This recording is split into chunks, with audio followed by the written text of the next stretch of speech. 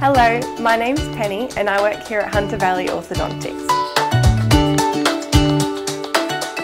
So recently you would have gotten your braces on and I'm just here today to help you go over the cleaning side of things that we would have explained to you in the chair, but it is a lot to take in.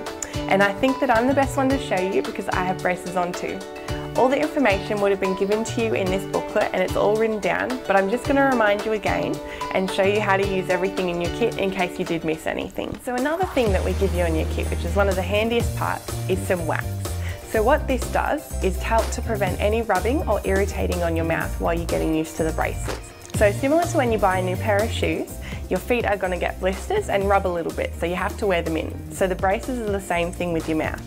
So when you use your wax, you only need a small amount.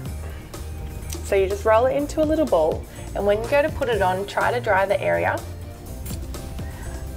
and then put that little piece of wax just over the bracket or anywhere that's rubbing or irritating. just like that.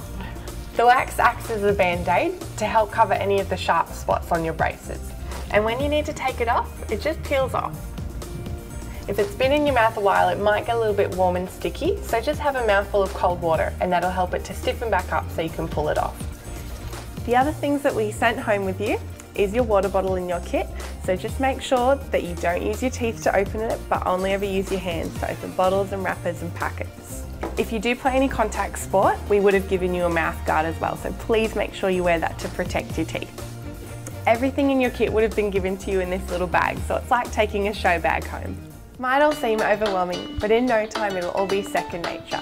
So good luck and I hope you've enjoyed the video and make sure you check out some of our other videos to see how to take care of your braces.